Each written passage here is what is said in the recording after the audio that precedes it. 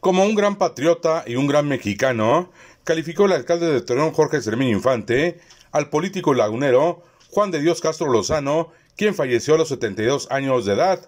Tras lamentar su muerte y destacar su trayectoria, aseguró que fue uno de los diputados más brillantes que ha tenido México.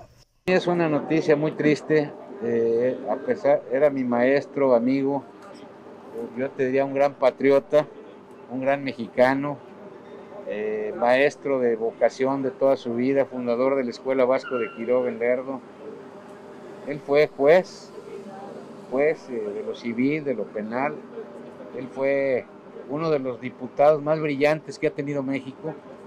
Yo no conocí nunca un legislador tan completo, tan capaz, un gran tribuno como Juan de Dios Castro, diputado federal, senador, consejero jurídico de la presidencia, su procurador de Derechos Humanos en la, en la PGR, magistrado del Tribunal de Justicia Fiscal.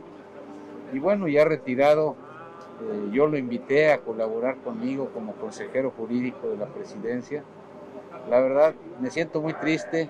trayectoria limpia. Trayectoria limpia, yo te diría una persona ejemplar por su, por su esfuerzo, por su trabajo, por su inteligencia en la Universidad Autónoma de Coahuila hay un antes y un después de cuando entró él a estudiar la carrera de Derecho. Él obtiene la mayor calificación, la summa cum laude, por lo brillante de sus estudios. Saliendo de su carrera, inmediatamente lo invitan al Poder Judicial como juez. Con imágenes de Alejandro Hernández para RCG Media Informa, Alfonso Hernández.